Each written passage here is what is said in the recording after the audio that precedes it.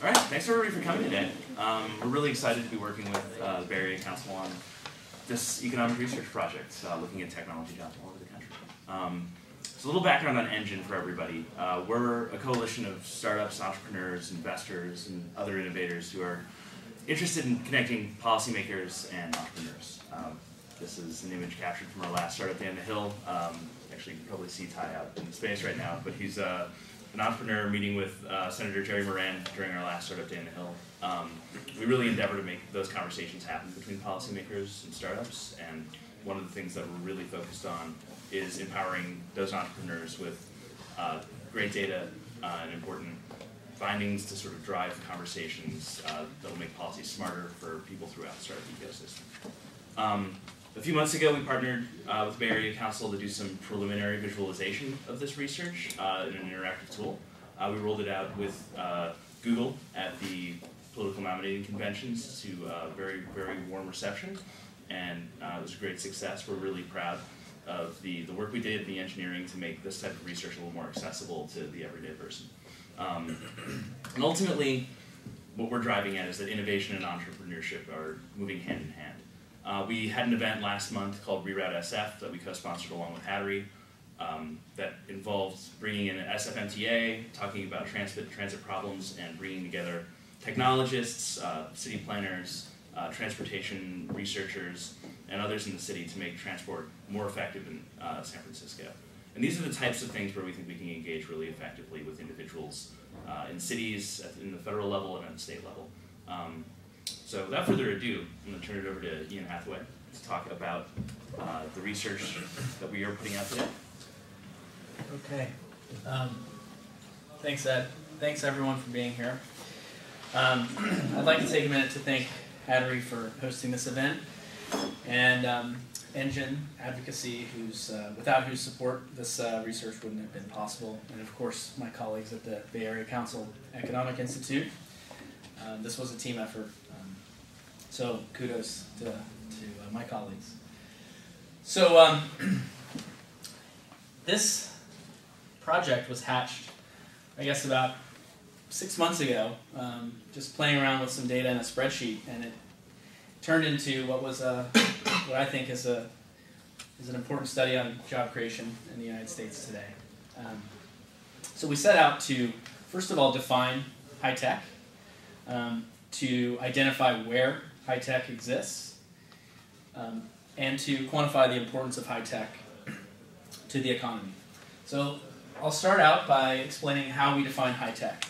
Um, so using uh, you know classifications that were defined by the federal government, we define high tech as the set of industries that has very high shares of STEM workers. These are workers in the fields of science, technology, engineering, and math. The threshold for that is, a, is five times the average across industries. So, for example, if the average across industries is, uh, you know, an industry has 5% STEM workers, you would need a minimum of 25% to make this list. So, out of the 300 or so industries that um, are analyzed at this level of granularity, that yields 14 industries. Um, these industries coalesce around traditional high tech, um, manufacturing and services in computers, communi- advanced communications and electronics equipment, um, but also things like uh, pharmaceutical manufacturing, aerospace, engineering services, and scientific research and development. So now that we've defined the universe of the high tech sector, as we'll call it, we can make comparisons with jobs across um, the entire economy.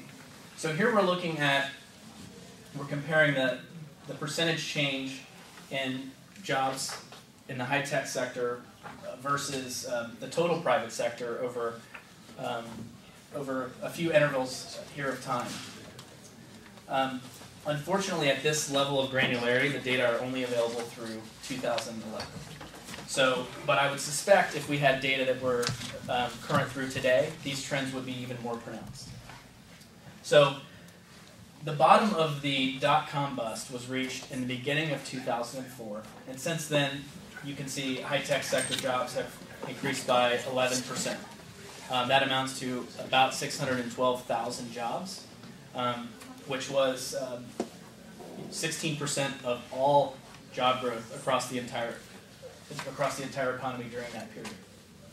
Since the recession, um, of course, high tech is down, but not as much as jobs across the private sector.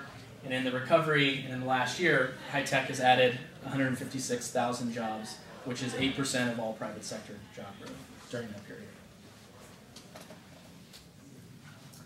Um, here's the unemployment rate. So comparing high tech versus um, all workers, you know, as you can see, high tech workers are either less likely to be laid off, or if they are, they're more likely to find uh, jobs quickly.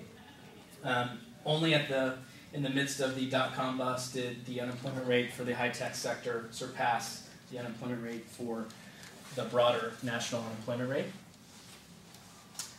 Um, and the next thing I want to focus on here is the distribution of high tech jobs around the country. So this map um, is showing you the concentration of high tech jobs by metro area in 1991. And actually, if I could have you flip back and forth, um, so I'm not blocking the screen here. Here's what it looks like in 2011. So not only are these areas, you know, a good number of these areas getting darker, but it's also more widely dispersed. So if Ed, would you flip back and forth between those, um, which is pretty remarkable. Now, in the report, we've also done this at the state level. Um, I've excluded it from this presentation uh, for the sake of brevity, but you know, you get the picture. Um, just to call out the top 25 metro areas for high-tech concentration. Now, a lot of these are not going to be a surprise to you. Uh, the San Jose, um, Silicon Valley metro has almost 30%. Um, you know, uh, Cambridge, Massachusetts, 20%, Seattle, 18%. But there are a few surprises in here. Um, I was surprised to see that Boulder, Colorado had 22% of its private sector workforce in high tech. Same with Huntsville, Alabama, which is a huge source of aerospace manufacturing. Um, now, what might be a little more surprising is the job growth that's occurring. Um, so whereas, you know, the concentration of high tech jobs is a little has been a little more predictable, uh, recent job growth has not been. Now we're seeing on the left panel here we have uh, the percentage change in high tech job growth in the last year that the data is available, so in all of 2011. And for comparison, we do a five-year growth rate. You can see that Greensboro, North Carolina increased its high tech jobs by 36% in 2011. Now, the first question that may jump out at you is to say, well, look, well, how many jobs does, you know, how many high-tech jobs does Greensboro, North Carolina have, and what does that really represent? It turns out that that represents 2,000 workers. So, you know, you could look at this and say, well, you know, it's because it's a relatively low concentration, and it does.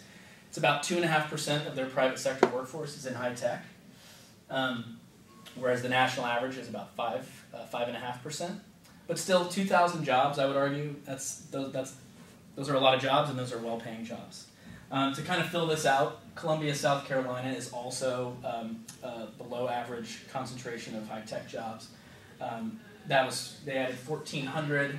Dayton, Ohio, which happens to be my hometown, uh, added 3,500 jobs. In San Francisco, um, achieving 20% growth, that was on the back of 17,600 workers. So um, a lot of job growth going on in high tech in, in this region.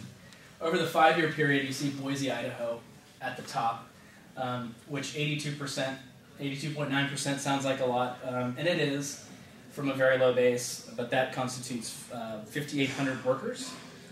In Augusta, Richmond County, Georgia, South Carolina, that's another 2,000 workers. So you know, in those last tables, we were just calling out a few of the names um, to describe, hey, look, here, here, is a, here are a few examples of where high-tech job growth is occurring the most. Um, but another way to do this is to show it statistically. So what these charts are, these are called scatter plot charts. And at the top here, we have we have these for states and then for metros at the bottom. On the vertical axis here, we have the concentration of um, high-tech jobs.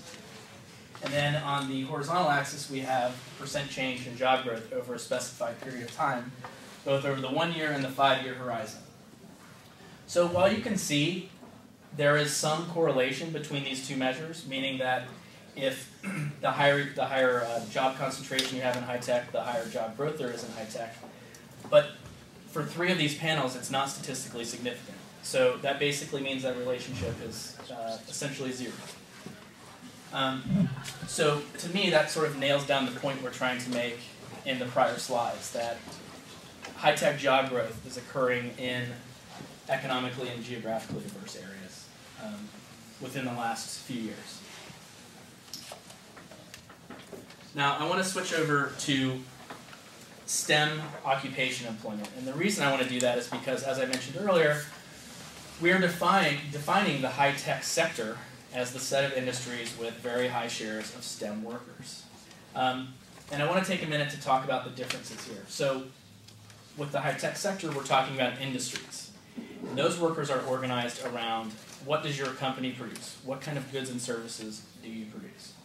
So, that would include everything from the CEO to the secretary to software engineers of a high tech firm. Now, STEM, STEM occupational employment is, you know, you're, when we're talking about occupational employment, we're organizing workers around the tasks they do.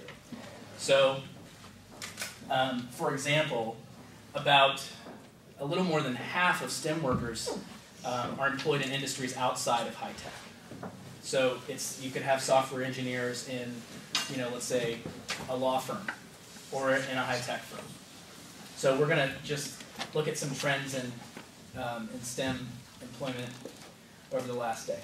As you can see here, um, STEM has, with, with the exception of this drop during um, the period associated with the dot-com bust, STEM, STEM has grown at a pace that is um, far beyond um, total jobs, which of course are negative.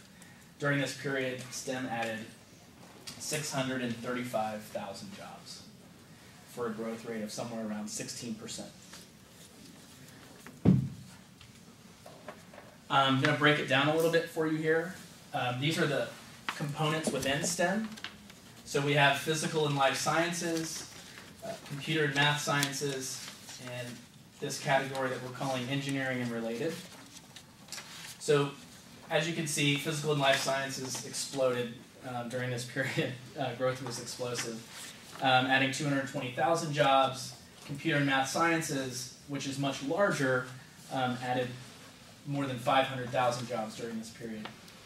Now, the engineering and related component fell, shedding 92,000 jobs during this period. What's interesting about this is that when you look within this segment, you see you see um, an interesting pattern that if you if you break this down between engineers specifically across disciplines, so whether they're civil engineers, industrial engineers, electrical engineers, etc., those jobs have been growing by about 16% over this period. It's this related segment, which are um, lower skilled, low to middle skilled workers in um, that are in drafting, technician, and surveying professions. Those jobs fell by 23%. So one of the things you could say is going on within that segment is that the higher skilled jobs are increasing and the lower skilled jobs are, are declining by a significant amount. Um, again, unemployment rate here. Um, so STEM workers are either less likely to become unemployed, and if they are, they're more likely to find work than our workers across the economy. Consistently, you can see it's was dipping just below 2% throughout the late 90s, uh, a point at which it reached in 2007 as well.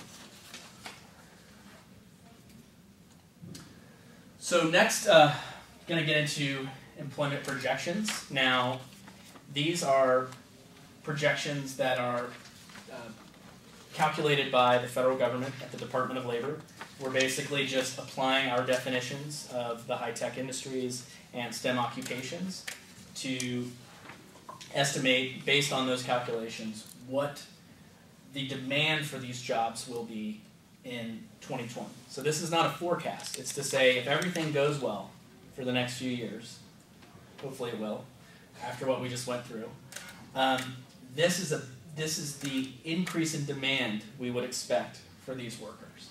So as you can see, the high tech the demand for high tech workers uh, is expected to outpace demand for workers in other sectors of the economy by a wide margin, I would argue.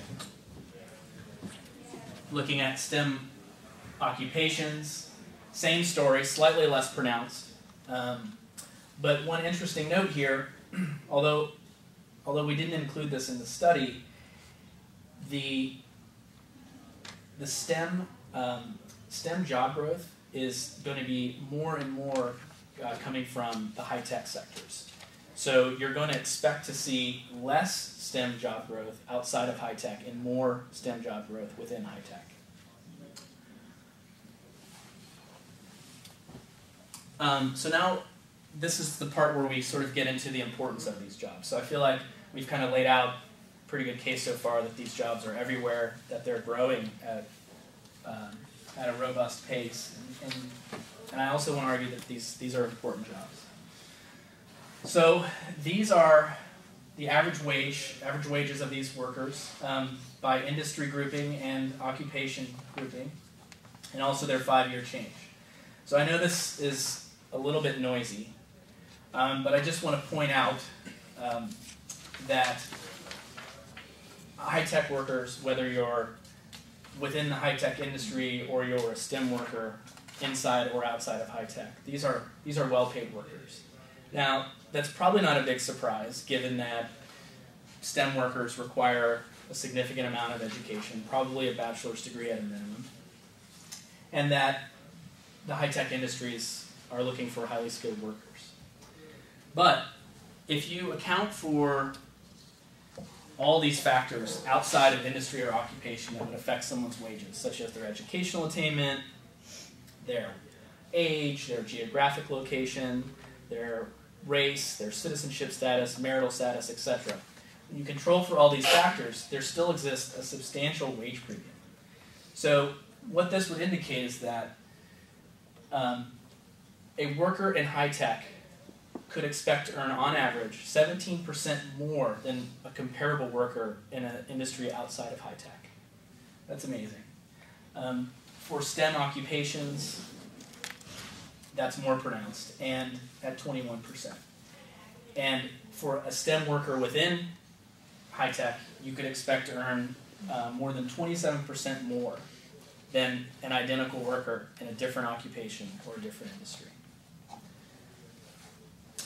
So, the you know the important part about wages that I want to discuss maybe before we flip into that is that you know this reflects par- this is partially partially reflective of the fact that high tech is growing.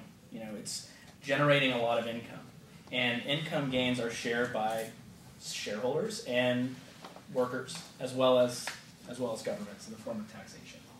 So this is reflective of the economic growth in these industries and also the demand for technical workers.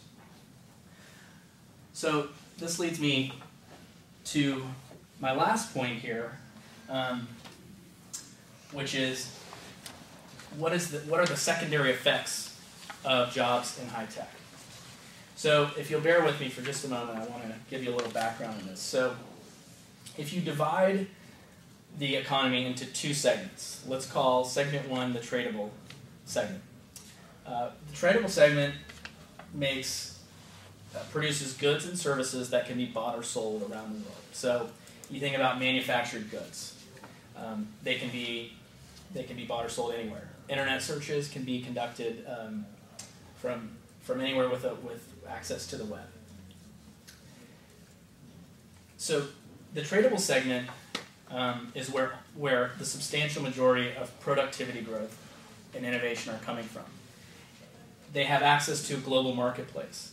So they're capturing this, this income from around the world and bringing it home to places like where we are right now.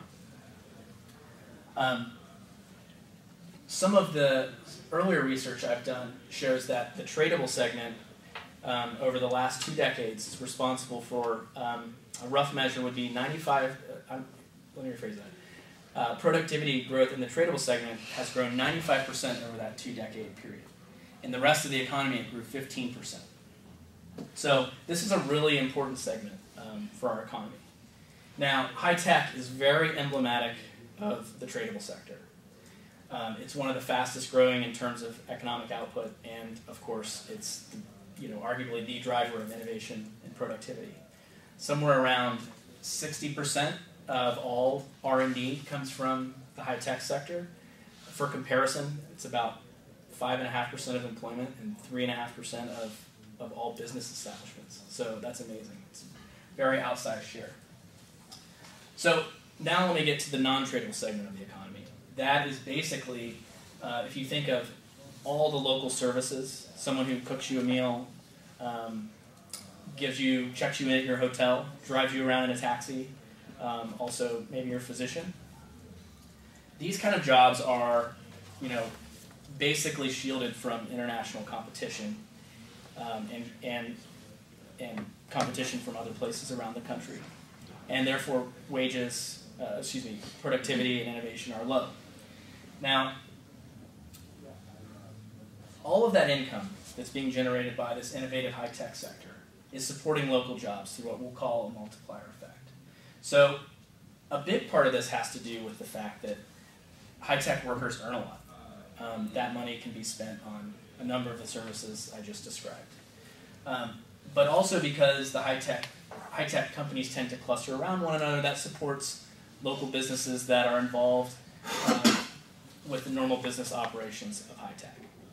Now, the reason we do this for manufacturing, uh, we do a similar multiplier for manufacturing, is because you know we want to draw this contrast. I think regional economic development has often focused on bringing manufacturing jobs, uh, you know, to their to different regions. Um, but we would argue that high tech uh, is three. The, the multiplier effect for high tech is three times as large, um, which is pretty remarkable.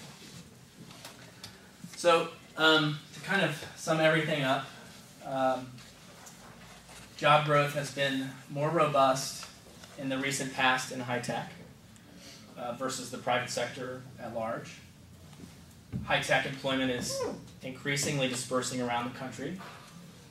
And um, you know, not only into uh, it's not only spreading geographically, but I, I, think the economic composition, the economic characteristics of some of these regions are also very different. Um, the same is true of STEM occupations. It's been growing; those those jobs have been growing more so than uh, total occupations. Employment projections indicate that uh, these trends will continue. Unemployment in high tech and STEM have been very low, and uh, wage growth has been strong.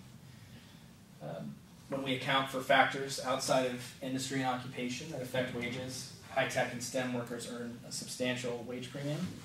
And finally, this local multiplier for high tech is very large. Um, and with that, I guess we could kick off our discussion. Thank you.